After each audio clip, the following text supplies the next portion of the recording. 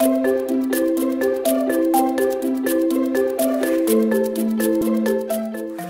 to set up parental control on your devices. Parental control is one of the most effective ways to avoid some of the dangers our little ones face on the internet. Which is why we're going to show you how to set up your browsers to prevent inappropriate content from being accessed. Google Chrome. Open your Google Chrome settings and go to the People section.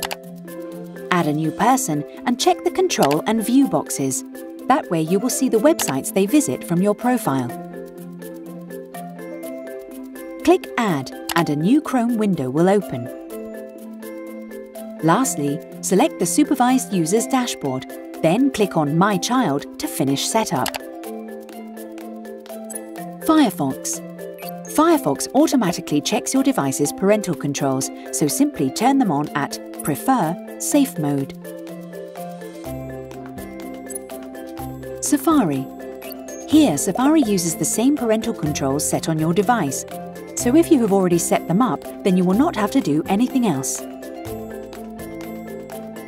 Even so, changing your browser's settings is not enough to fully protect your children.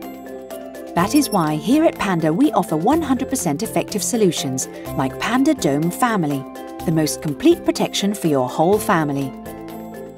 Discover the most complete protection for your whole family on our website.